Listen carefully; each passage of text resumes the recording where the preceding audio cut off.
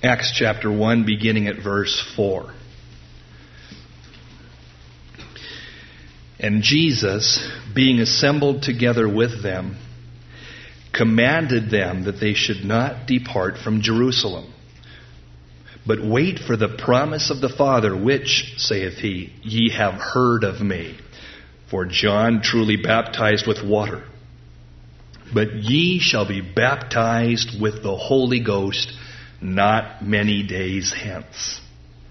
Verse 8 And you shall receive power after the Holy Ghost is come upon you. And you shall be witnesses unto me both in Jerusalem and Judea and in Samaria and unto the uttermost parts of the earth. Verse 13 And when they were come in, they went up into an upper room where abode both Peter and James and John and Andrew and Philip and Thomas, Bartholomew and Matthew, James the son of Alphaeus and Simon Zelotes, and Judas the brother of James. These all continued with one accord in prayer and supplication with the women and Mary the mother of Jesus and with his brethren. Verse 1 of chapter 2. And when the day of Pentecost was fully come, they were all with one accord in one place. And suddenly there came a sound from heaven as of a rushing mighty wind, and it filled all the house where they were sitting.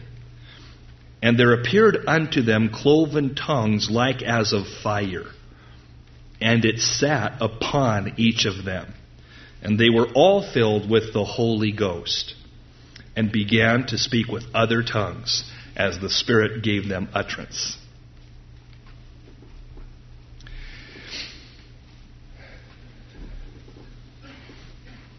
That classic, sometimes crusty old preacher, Vance Havner, said something which I think is right on the money. And I quote him. He said, we are not going to move this world by criticism of it, nor conformity to it, but only by the combustion within it of lives ignited by the Spirit of God. We are not going to change this world by criticism of it or conformity to it but by being combustioned, ignited within it by the power of the Spirit upon our lives. Right on, Vance. And these believers found that to be exactly so. Their world was radically altered. In fact, it was their enemies who said, These are they which have turned the world upside down the early Christians, these believers, turned the world upside down. Now, since the world is always wrong side up, to turn it upside down is a good thing. It gets it back right once more. And they turned the world upside down without a single media consultant. without one church growth seminar, without any management strategy, without programs or slick presentations, hey, they impacted the whole Roman Empire, the whole world, really. They didn't have buildings or buses or budgets church growth specialists. But what they did have was the power of the Holy Spirit upon their lives. And they, even as the Lord promised in verse 8, became witnesses. Notice, please.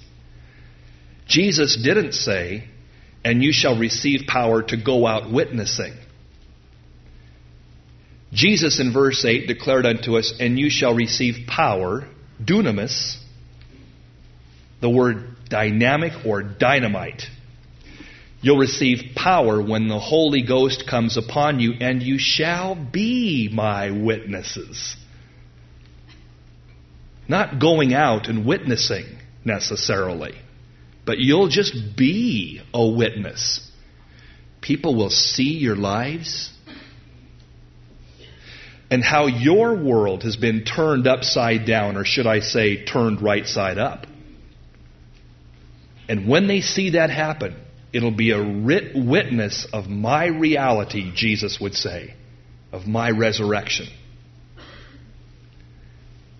Gang, it's not going out witnessing, it's being a witness wherever you go. Just an example of what the Lord can do in a marriage, in a family, at your job or, or in your school or wherever you might be, you are a witness, you see. And these believers were just that. They went about and had such joy in their hearts and such love from their lives that it was undeniable that something radical had happened, that Jesus must be real.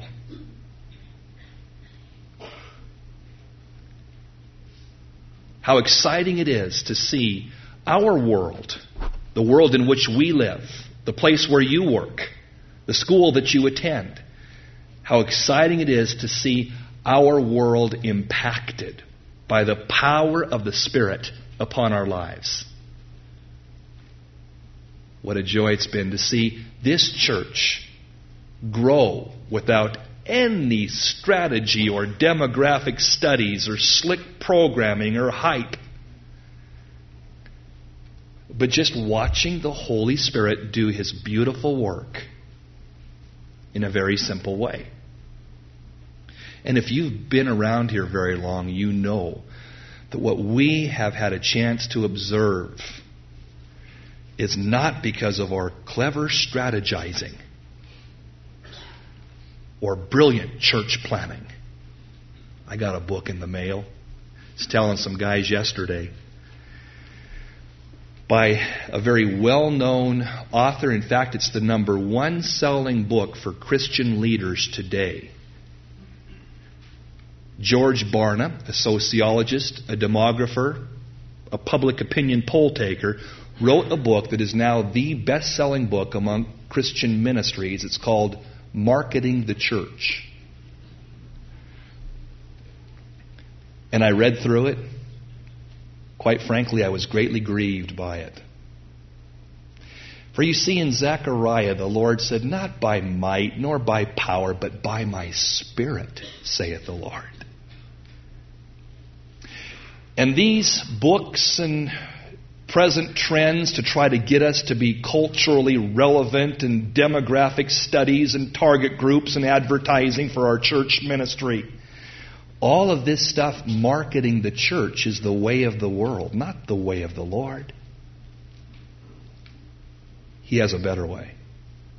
It's not by might nor by power, but by my spirit igniting individual people. And they will just be a witness of my reality, and people will be drawn to me like moths are to a fire.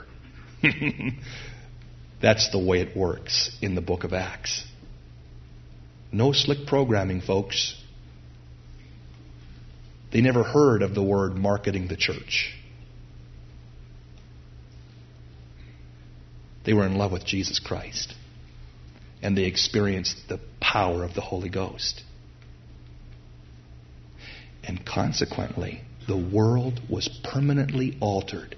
And the farther we've moved away from the power of the Spirit and relying upon our own prowess, the more the church has missed the mark. And we've sort of made a mess. I think back how the Lord blessed us 15 years ago this March. Before our first Sunday, a group of us gathered in a front room of a home just to pray and seek the Lord. And a prophecy, a vision was shared in that prayer meeting. Don Maines, great guy, now lives in Idaho. He spoke to us and said, The Lord has given me a vision. It's very, very real. He has shown me that this little valley on a map being ignited by fire. And from that fire, sparks and fires all around it. And he goes, I believe that this means that the Lord is going to ignite our fellowship, and from that fellowship will come many other fellowships. At that time, I was 23. And I took in that prophecy and do what I do with a lot of those kinds of things. I just sort of file them away. I write them down in a journal and file them away and say, well, let's see. Truly, it was my belief that the Lord might bless Applegate Christian Fellowship and that we might blossom to a group of a hundred people. And that would be wonderful if God's grace was upon us. And then the Lord began to move in ways that are completely unpredictable and totally unplanned. totally unplanned. And so the fellowship here began to just grow and grow, not because of our strategy or slickness. Quite contraire. It was in spite of us. And as we began to grow, then from here we began to start other fellowships round about. Grants Pass and Medford and different communities that are around this area. And then on up a little bit farther into Roseburg and Eugene and Poulsbo, Washington, and Northern California, Mexico, Honduras, Jamaica. And the Lord just began to multiply us. And I was reading that journal a while ago and was just sort of remembering that prophecy, that first prayer meeting before our first Sunday. And I thought, Lord, you did it. Just like you said you would. And it's not by might nor by power, but by the simple, significant work of your Spirit. Our hearts have just been touched and our lives are being changed, and people can see your reality, not our strategy. I remember that first Sunday after that prayer meeting. Grange Hall down on uh, Little Applegate Road, past Little Applegate Road. And I was teaching, I don't even recall the message. It was long.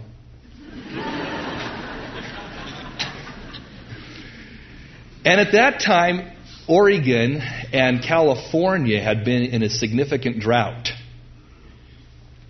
Many months without rain.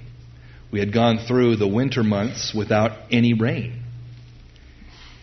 And as I was teaching, the rain began really pouring. And I think that perhaps the Grange Hall had a tin roof of that, I'm not sure, but whatever, it was loud. And the congregation started laughing. Folks that were there that Sunday. And, and I, I was kind of nervous or whatever and just kind of went on and on and on. And after we were done, I, I walked outside and grabbed Tom Patrick. Perhaps some of you might remember him. He's been in Hawaii with YWAM for many years now. But I grabbed Tom Patrick and I said, Tom, what's, what's going on? And Tom said, Well, you don't know this, but before you moved up here, when we were just getting together praying and preparing our hearts for what the Lord might want to do, a prophecy was given that He would rain upon us and pour out His Spirit upon this ministry, this group that's coming together. And we would know it, for it would happen simultaneously with rain falling physically. So when you're teaching the Word on our first Sunday and it starts pouring, that's why we were laughing. And I just cracked up. And shortly after that, a rainbow just formed as we were standing outside the Grange Hall, just chatting. A rainbow formed, and we were just rejoicing. You can say it's coincidental. You're welcome to that wrong opinion.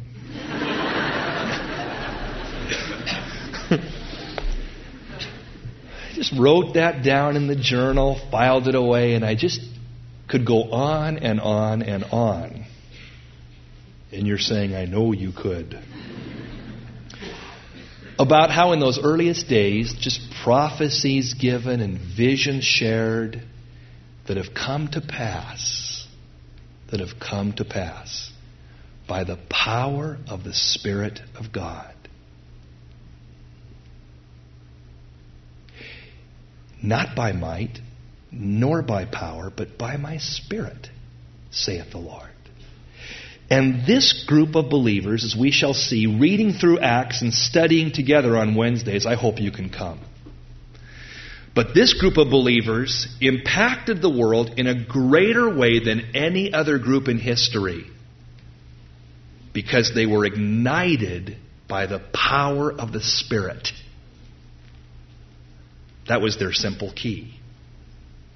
Your world, maybe your kids, maybe your marriage, maybe your business, maybe your school, whatever it might be, maybe your world is wrong side up or upside down. How's it going to be impacted? The same way the whole world has been impacted globally by the power of the Holy Ghost upon your life. By the power of the Holy Ghost upon your ministry. It's the power of the Spirit that will change you and your marriage and your family and your business and your service for Jesus Christ. It will change every aspect of your life. It's the power of the Spirit, not more programming, not more fleshly striving, not more clever organizing. It's His power upon your life that will make things start happening. That's what they found. Now keep in mind here, these disciples in Acts 1, they were already born again and had already received the indwelling of the Spirit. What do you mean? For you note takers, jot it down. For you others, think back. John chapter 20. Jesus had been crucified on the cross, resurrected from the dead. The disciples there are meeting in the upper room with locked doors, worried about, man, what if somebody discovers us? What does this mean? Where do we go? What do we do from here? And they were holed up in that upper room when suddenly, in the midst of them, without coming through the doors, popped Jesus. He popped in, literally dropped in unexpectedly. and he says, Peace. And these guys are blown away. And then he breathes on them and says, Receive ye the Holy Ghost. Now, if Jesus breathes on you and says, Receive the Holy Ghost, you're going to get the Holy Ghost. No doubt about it. That's why John 20 is such a key chapter in understanding the dynamic of the Spirit. Now they're born again. It couldn't have happened before that time, for Jesus had not yet died. They followed him, but were not yet regenerated or born again, because Jesus first had to die for their sin and then rise again. So now he died for their sins. He rose once more. He breathes on them. Boom, they're born again. The Holy Spirit is in them.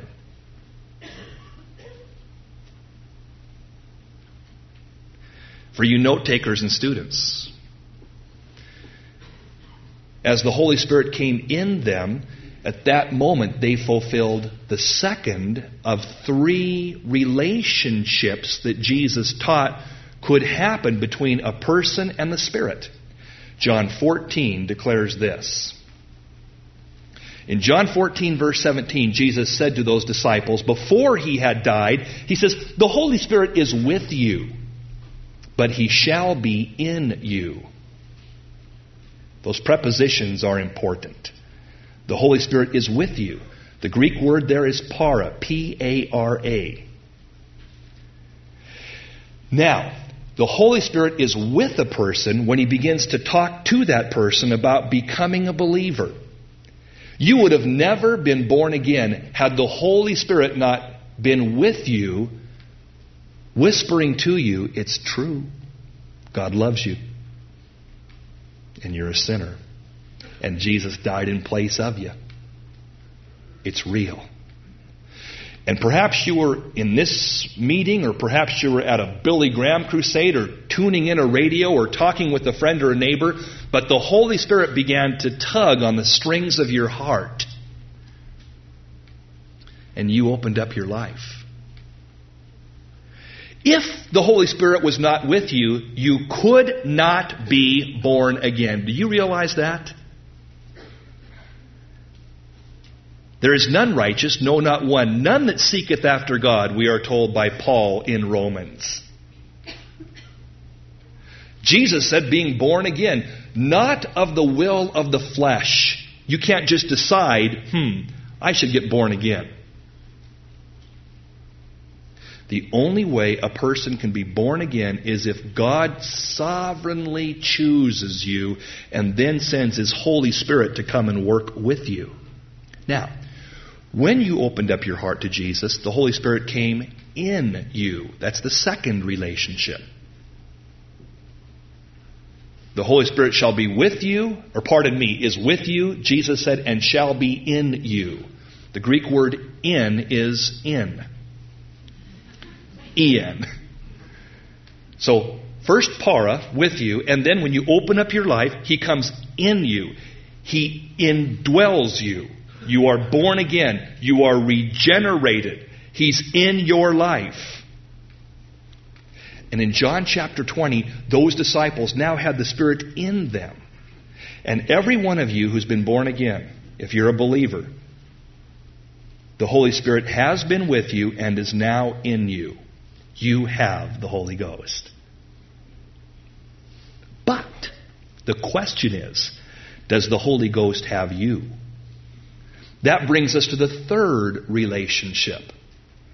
Jesus told those boys after he breathed on them.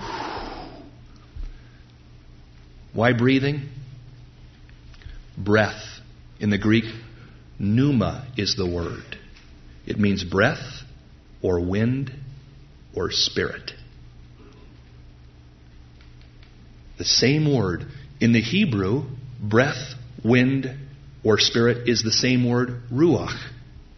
R U A C H, like ruach.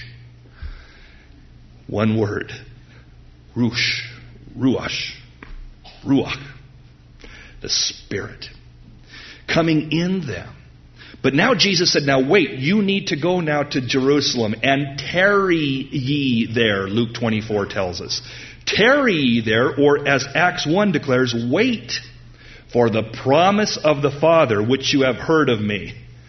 That promise of the Father, Luke 24 defines it. Jesus here reiterates it, is the power of the Holy Spirit, verse 8, coming upon you. This is the third relationship. He's with you when you're being convicted of your need to be saved. He's in you when you open up your heart and you're born again. The third relationship is for believers now go and wait for the Spirit to come upon you.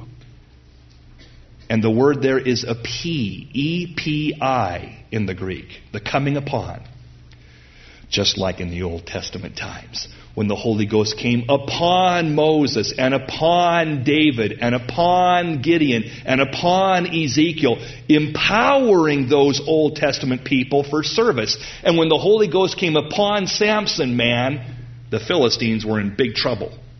And so was that lion whose jaws he ripped apart into two. The power of the Spirit coming upon you. The dunamis, the power, the dynamite. It's a blast. and Jesus said this The Spirit's in you, but go and wait till the Spirit comes upon you. And then you're going to be witnesses. Not go out and witness, you're just going to be witnesses. Not study demographics to figure out how to minister, you'll just be ministering. The Spirit will be upon you. It's going to be happening inevitably upon you. And so they did just that. These born again disciples 120 in number, huddled together in that same upper room where they were previously when Jesus appeared unto them. And for 10 days there, they wait and pray, and they're with one accord in one place when suddenly, chapter 2 tells us, the day of Pentecost had fully come. And there was the sound of a mighty rushing wind. Why wind? Again, breath spirit. This blowing, this moving of the wind. And these tongues of fire sat upon, verse 3, each of them, and they were all filled with the Holy Ghost. And the world was never the same thereafter. The Spirit of God coming upon them. Now, at that point, the Spirit of God is made available not just to work with you in becoming a Christian or to come in you once you open up your heart to Him, but He is now made available to come upon your life, to empower you, and see your world turned upside down, made right side up. But understand this. This is very, very important that we no longer have to wait for the Spirit like they did. God gave the Spirit on the day of Pentecost to come upon the church or upon individual believers. You no longer have to wait for the Spirit. It is a gift, and it's been given, and it's available to you even as you sit there right now today. Mark this down again for you who are note takers and think it through and pray it in for you others. Our appropriation of the Spirit comes by our simply believing. How do you make it happen?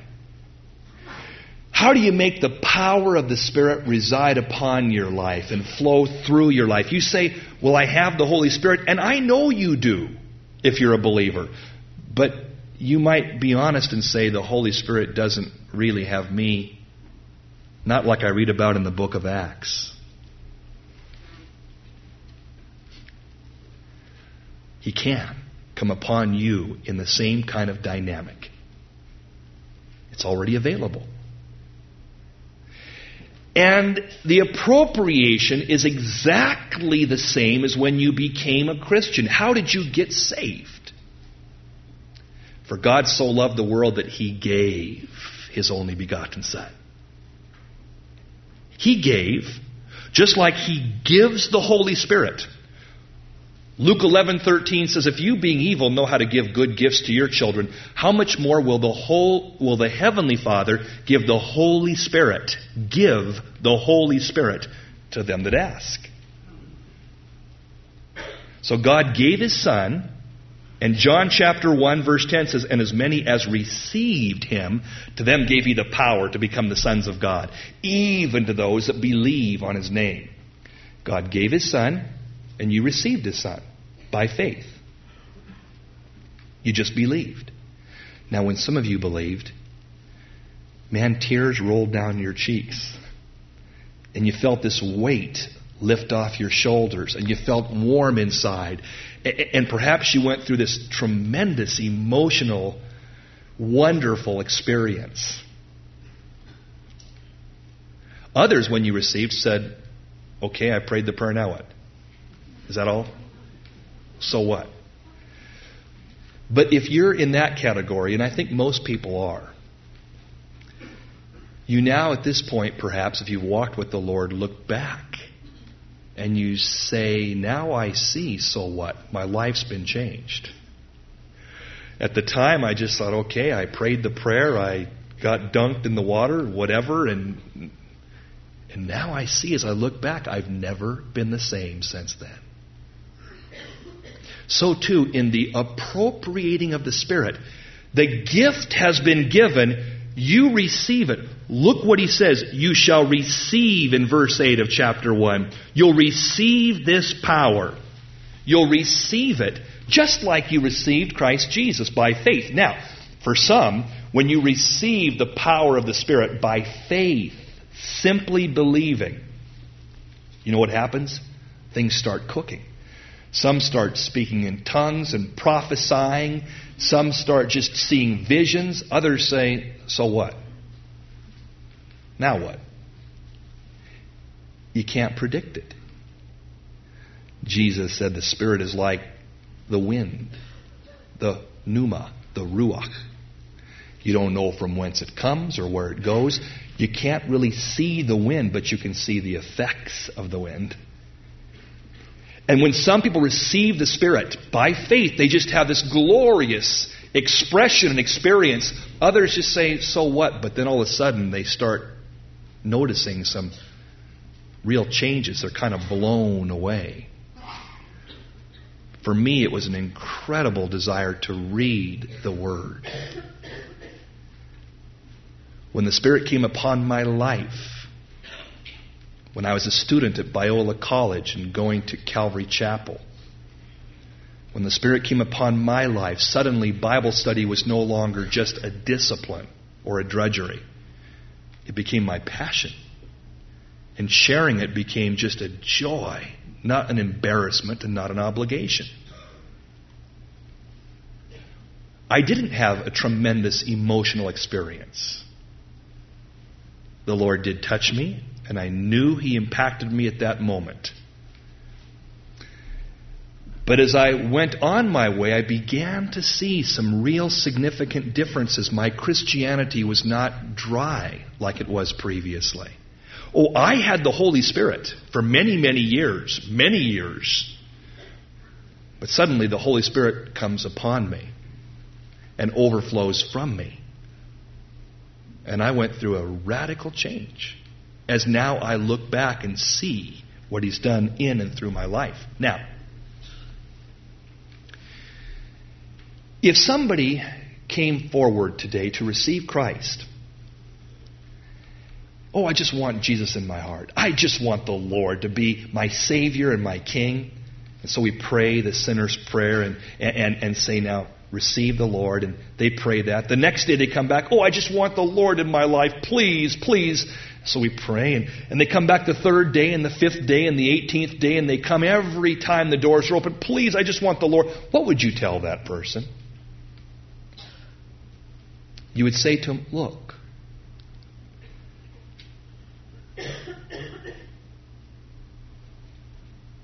by grace are you saved, through faith. It's a gift of God. You simply receive through faith that gift of salvation. You don't need to keep begging or pleading or crying. You don't need to do that. Just embrace what He has already given. Receive the gift of God. You are born again. Just believe it and receive it. And they go, Oh, yes. Upon what basis? Upon the basis of the Word of God. Just embrace it. And yet, when it comes to the Spirit, people have a whole different wrong concept. They think, well, now I, I need the power of the Spirit upon my life, so I'm just going to I'm just going to tarry for it, and I'm going to pray hard. And, and so we go into these meetings, and we think we got to really strive and prove that we're deserving of the Spirit. And so we pray with intensity. People lay hands on you, and, and some are saying, Come on, brother, hold on, hold on, don't give up, pray through, hold on. And somebody else comes up an hour later and says, Let go, brother, let go, let go. And so you're holding on and letting go, and you think, Man, I give up. What's going on?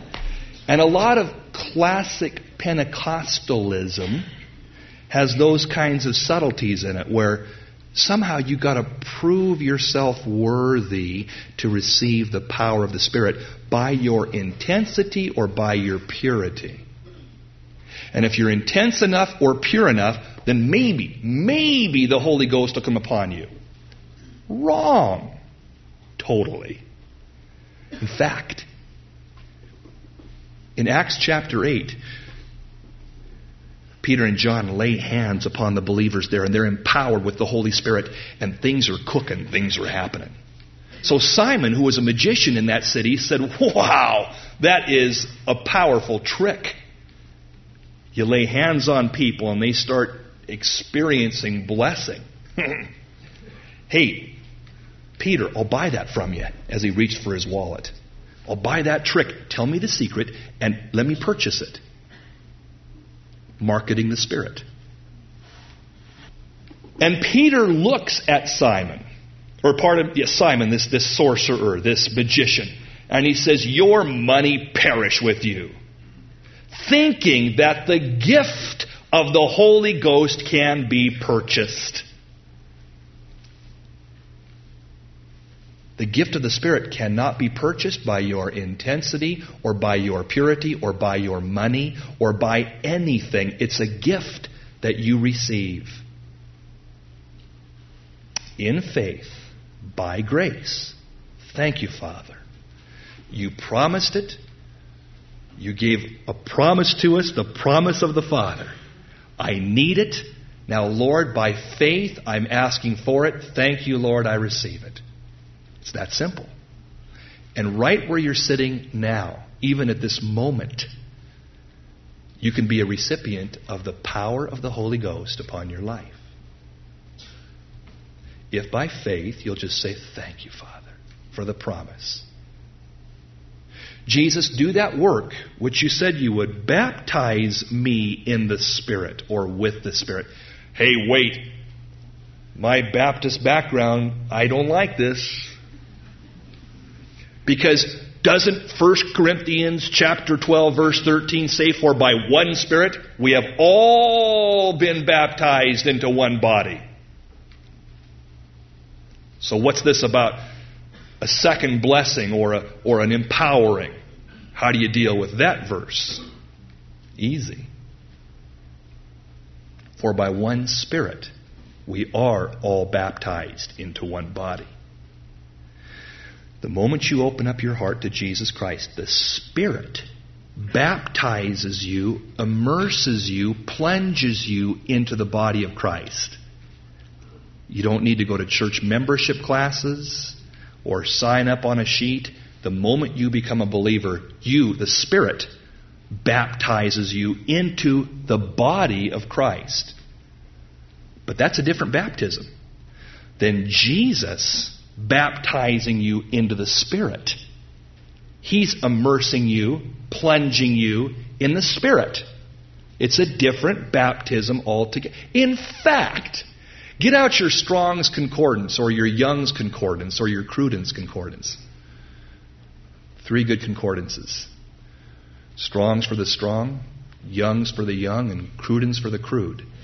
But three, get, get a good concordance and see the number of baptisms that are mentioned. There's the baptism of John, the baptism of regeneration, the baptism of suffering, the baptism into Moses. There are seven at least different baptisms. And 1 Corinthians 12 13 is one of those baptisms where you are baptized into the body. The Spirit baptizes you into the body. But this baptism, the promise of the Father, is when Jesus baptizes you into the Spirit. And that's what the Baptist said earlier, didn't he, when he said, I baptize you with water, but there's one standing amongst you whom you know not. He shall baptize you with the Holy Spirit. He will baptize you with or in the Holy Spirit. But doesn't Ephesians say there's one Lord and one baptism and one faith? Yes, it does.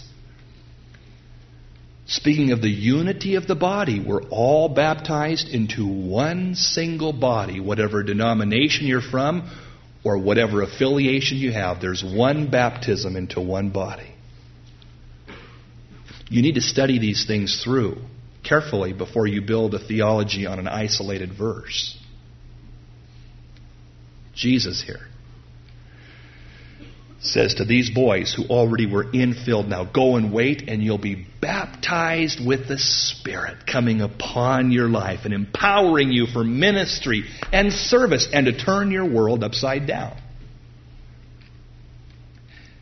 Please understand, nowhere are we told to wait for the Spirit. From this point on, He is always there. He's just waiting for you to say thank you. I need it. I believe in it. I receive it right now. I thank you for it. By faith. Luke 11:13. Why are you being so redundant on these verses? Because if you're not writing them down, I don't want you to forget them. It's the promise that's going to impact your life and change your ministry.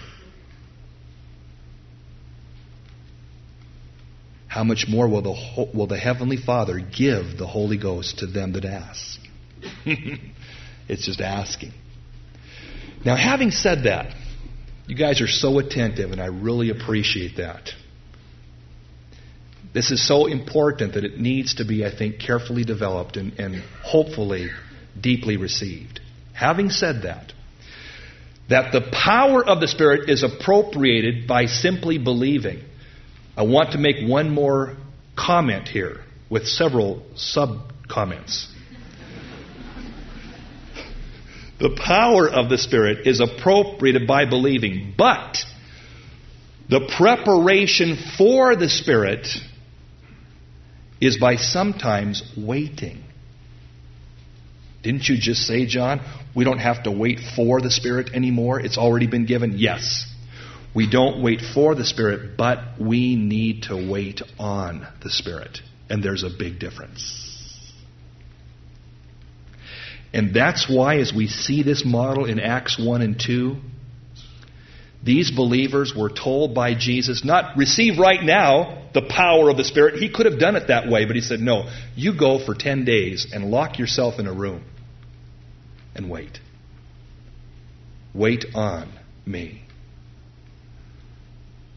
that I might pour out that spirit of promise upon thee. Why? Why would the Lord have these boys wait on him? Why would he have you wait on him? If it's available for us right now, and it is, then what's the reasoning? What's the purpose of waiting on him? Several reasons. Number one, transition. A lot of us came out of a Baptist dispensational fundamental background in which we were taught there is no second blessing. There is no baptism with the Spirit. There are no gifts of prophecy or healings or tongues or visions. Those are all things in the past and not available for us today. I was indoctrinated that way at the school I was attending, the college in which I was studying. And yet, as I read the book of Acts and went to a church where these things were a part of the body life, I realized I've got a problem. How do I explain these things away, really? So, for almost a, two years, actually, I studied the scriptures. What does the Word say? Not what do my profs say or what does that preacher say, but what do the scriptures say? What does the book of Acts really model, and what do the epistles teach? Are these things not for today?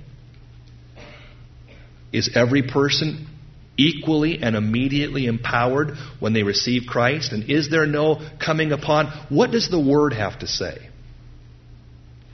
And so at Biola University, Biola College back then, sparring with Dr. Sturz, one of the main theologians and Greek teachers there. How do you get rid of these things so easily that are in the book of Acts and taught by Paul? And we sparred and and I questioned, went into Biola archives to do some research on the Holy Spirit, and lo and behold, what did I find? Hidden in a far corner. And I appreciate Biola. Don't misunderstand me. But in this time, at that particular juncture, hidden in a corner, was books that were written by the school's founder, famous teacher, compadre of D.L. Moody. His name was R.A. Torrey. Started Biola. Wonderful teacher. And he wrote many works on receiving the power of the Holy Ghost. And I went up to Dr. Sturz and said, This guy's a Pentecostal. And my professor said, Well, you got to understand that in his later years in ministry, he sort of got a fuzzy a little bit theologically and, and delved off. And, and that was an explanation that was given. They didn't want that readily known by, by the students there that our founder, we have R.A. Torrey Conference one week each year, was a charismatic. D.L. Moody. We have a booklet or used to carry books in the bookstore. I hope we still do if they're still in print. How to Obtain the Fullness of Power by D.L. Moody. The power of the Holy Ghost coming upon him. Charles Finney, the great evangelist. When, was, when he was asked by a journalist, Mr. Finney, what is the thing? How come so many thousands of people come and hear you preach, this evangelist from generations ago? He said this. It's very simple. I pray for the power of the Holy Spirit to ignite my heart and then invite people to come and watch me burn. When you study Finney, when you read D.L. Moody, when you pull out the books of R.A. Torrey, you see that all of these men of God, so powerfully used, had an experience, a second blessing, a coming upon, a filling, whatever you want to call it. I don't care about your terminology. I want you to experience it personally. But they had an encounter with the Holy Ghost that affected their lives, and it was no longer their striving or their energy. Their ministries went on a radical change of course from that moment on.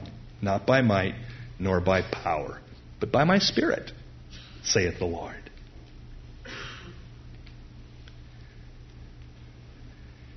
And so, for me, I had to go through a couple of years of transition, just sort of rethinking and unlearning before I came into the experience when I received that empowering with the laying on of hands. Transition. Remember what the psalmist wrote after many of his psalms? When he came to a profound point, he would say, Selah, which means stop. And think about it. And when you're talking about the dynamic of the Spirit, the new song of the Holy Ghost, I suggest to you for some, it means that we stop and not just take somebody's word for it, but think about it. Waiting on the Lord as we study His Word. Number two, not just transition, but protection quickly. You know what? These guys needed protection. The Spirit is now in them. They're born again, but they need protection. What? The danger that they were in was not from failing to do, to do something, but the danger that they were in was not failure from trying to do something, but trying to do something. Period. What happens? Check this out when you read this week. They're there praying in the upper room. And Peter suddenly says, Hey, the scriptures declare, the scriptures say that somebody should take the place of Judas, who's hung up and not here, and somebody should take his place. Somebody should move into his office. And he quoted the appropriate scriptures. So let's draw, let's draw straws here between these two guys, and let's see which one of them God wants to use in that office. And so Matthias drew the short straw or the long straw or whatever, and he was chosen. And it was a big goof. He's never again mentioned in the book of Acts. Not once. Why? Because Peter was speaking before the empowering of the Spirit of chapter 2, and he was figuring out through logic, through clever analyzation, through church growth seminaring.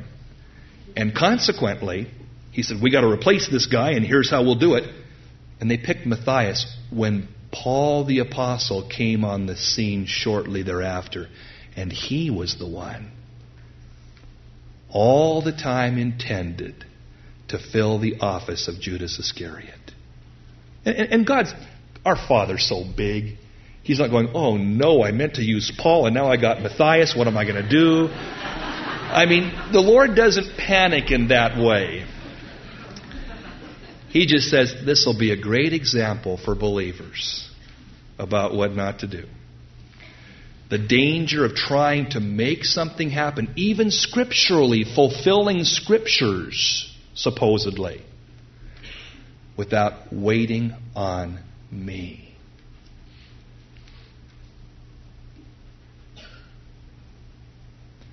Good example. And I'll use Paul anyway. I'll raise them up regardless of what they decide to do with their strategy and planning. Love it. The bigness of our Father. But a lesson for you and me nonetheless. So, wait on the Lord. Not wait for the Spirit, but wait on Him for transition, for protection, so you won't go half cocked and try to do things on your own.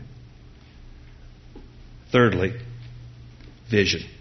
Real quick. Oh, Jeremiah 33 3.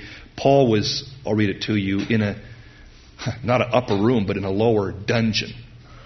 And while he's there shut up in prison, Thus saith the Lord, verse 3 Call unto me, and I will answer thee and show thee great and mighty things which thou knewest not. Paul, uh, Jeremiah, while you're down here in prison, you can't go anywhere, you can't do anything call on me. And I'm going to show you things that you never would have imagined. Abraham, look up. What do you see? Stars. Innumerable stars. That's how many your children are going to be. Wait on me. Abraham got impatient, didn't he? And said, Well, strategy suggests, and studies conclude, and physiological reports tell us that I'm not going to have a baby unless I do something with Hagar and we're still paying the price to this day. For Abraham trying to figure out what to do to make it happen, going into Hagar, conceiving a child that became the father of the Arab people, and consequently, when the promised son did come, Isaac, from that time on, there would be a mess, strife, even as there is as we speak today, because he didn't wait on the Lord but tried to make it happen strategically.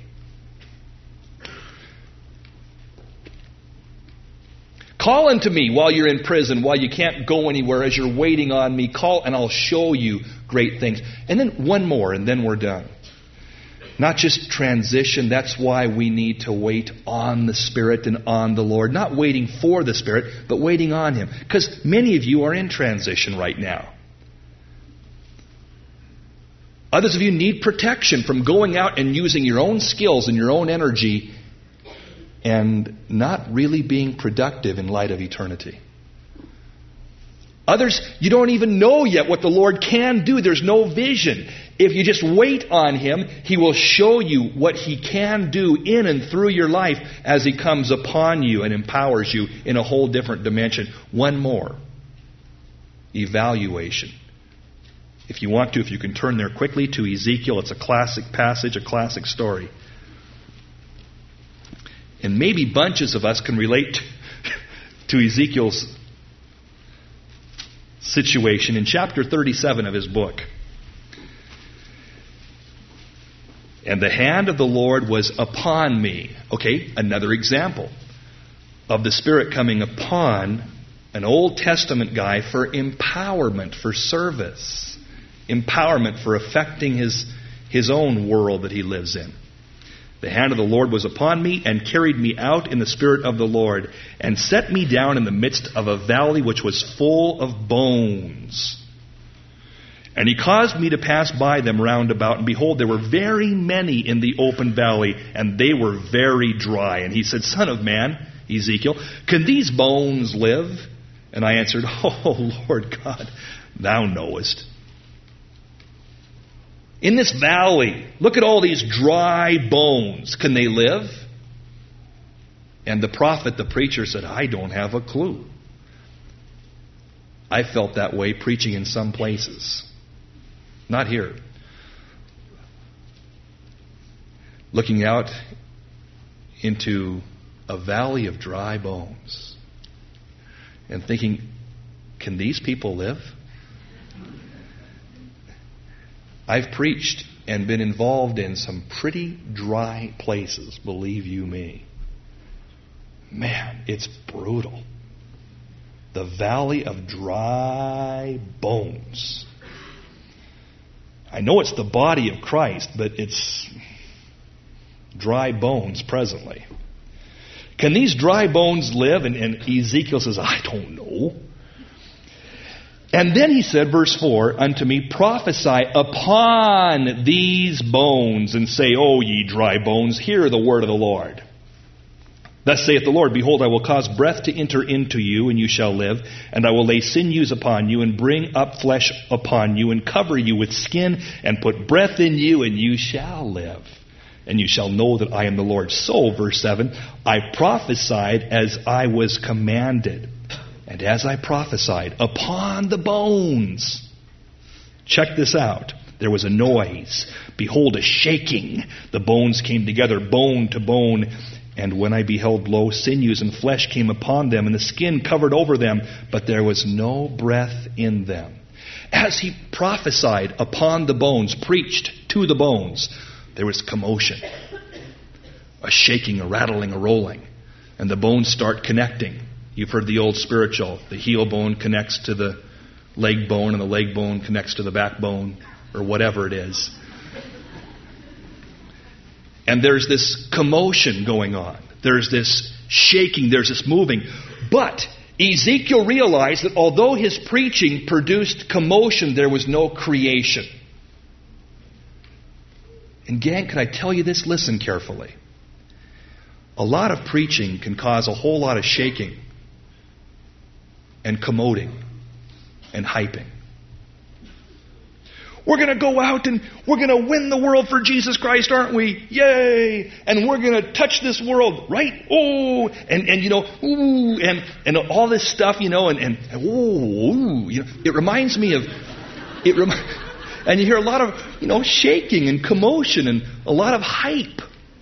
It's just plain hype prophesying upon dry bones, and the bones start shaking and moving.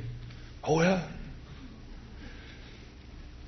Go get him, Yost, the last of the big time hype football coaches, 1938 Rose Bowl, Michigan State playing USC. Men, this is the most important game of your life. When I count to three, I want you to head out those doors and I want you to go fight for Michigan State and play for your mothers and girlfriends and win for the glory of Michigan. And he gave this pep talk, and the players are commoding, you know, and they're, oh, yeah, ooh, okay, we're going to do it. One, two, three, and they stand up and charge out the doors. True story. Go Get Him didn't know at that time that he pointed to the doors that led directly to the edge of the gymnasium pool. And they bust out these doors 13 of their starting players end up in the water. Had to postpone the Rose Bowl for a half hour. A lot of preaching does that, kids. We're going to go out there, aren't we? Yeah, we're going to go witness. Yeah, ooh, yeah, ooh. And boom. And you feel like a drip. And it doesn't work. It's manipulation, it's hype. It's not the power of the Spirit, it's just some hype. So there's this motion. Oh, the bones are rattling and things are moving, but there's no life. It's not real. Not yet. Then, watch this. Then, after this happened, he said, verse 9, unto me, Prophesy unto the wind or the Spirit, as your margin reads it. The Ruach, the wind. Prophesy unto the wind. Not prophesy to the people that they should get it together and start moving. Prophesy to the wind. Intercession. Prayer. prophesy unto the wind And say to the wind, Thus saith the Lord God, Come from the four winds, O breath, O spirit, and breathe upon these slain, that they may live. So I prophesied to the wind as he commanded me. And the breath came into them, the spirit, and they lived. Not just commotion, but creation. And they stood up on their feet, and they became an exceedingly great army. Not just bones rattling around, but an army standing strong and full of life. That's what happened in the book of Acts. Dry bones, 120 believers in an upper room wondering what to do and where to go. Peter stepping out, trying to make something happen, a lot of commotion, but it was like go get him Yost, the wrong door. And then the wind comes, the wind, a mighty rushing wind, the Spirit comes upon them. And suddenly, all of history changes. They move in a new dynamic. They just become witnesses and the world marvels. I leave you with this today. I've taken time, you know that. I apologize partially, but I think that this is absolutely essential. So before you fold up your Bibles and put away your pencils, right now, the Spirit is available for you to come upon your life. How? appropriation by simply believing. I know this, though, that for some, you say, you know, I need to think this through, transition. I need to get a vision in my heart. Or I'm not even sure if I feel a need. And you need to see the valley, perhaps, that you're in and the dryness of your bones within. You have the opportunity today to do something very practical. Not charge out that door and win the world, but to wait on the Lord. To go for a walk down your street or in a park. To find a quiet spot in your house if possible or in your car if necessary. And say, Lord, show me. Where am I at? I know I have you, Lord, but do you have me? I just do, Lord, as I wait upon you, feel that I am a dry bone and in a valley of depression. I've been like Peter, trying to pull it out cleverly. I'm tired of that routine and that hype. Lord, you promised the gift of the Spirit. Prepare me to receive it tonight. Could I encourage you I don't know if there'll be 10 people that will do this, or a 100 or a 1,000. I don't know. But some will. Who will really appropriate the power of the Spirit today by faith. Perhaps going to a koinonia meeting tonight where this will be the singular subject of the meetings. To lay hands on people and pray for people not to hype you up, but to prophesy to the wind, to intercede to the Lord. Grant this brother, this sister, that Holy Spirit power tonight, Lord. We thank you for it.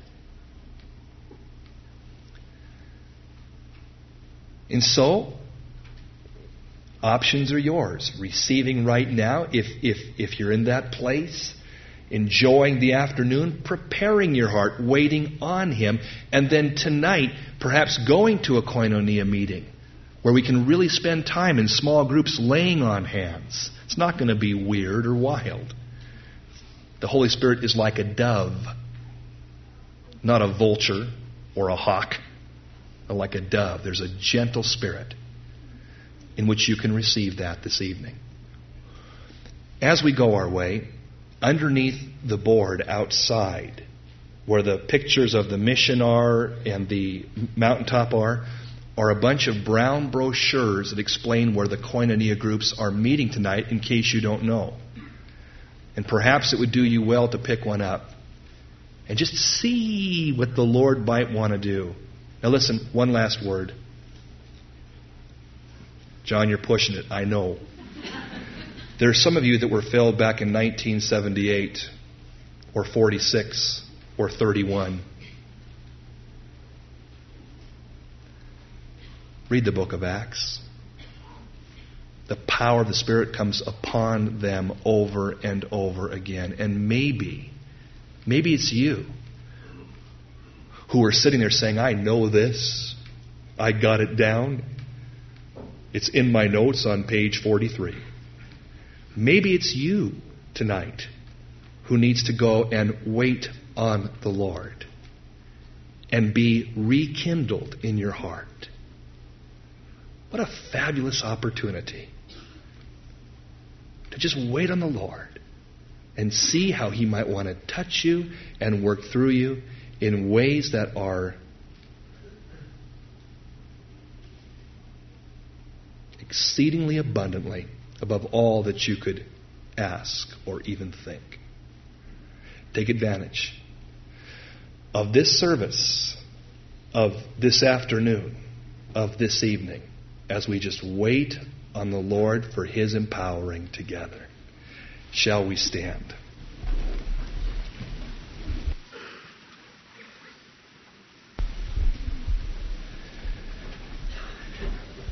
Father, I pray in Jesus' name that we might see that dynamic of your Spirit flowing through this church, this fellowship, in even a richer and fuller way as we wait upon you and study the Scriptures together.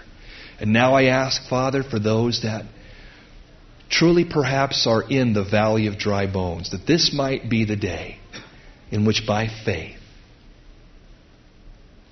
they would receive that empowering of your Spirit upon their lives and may their world be turned upside down. In Jesus' name. Thank you, Father, for that promise. And thank you, Jesus, for what you're now doing. Amen. Amen. Amen. Amen. Amen. Amen. Amen. Amen. Amen. Amen. Amen. Amen. Amen.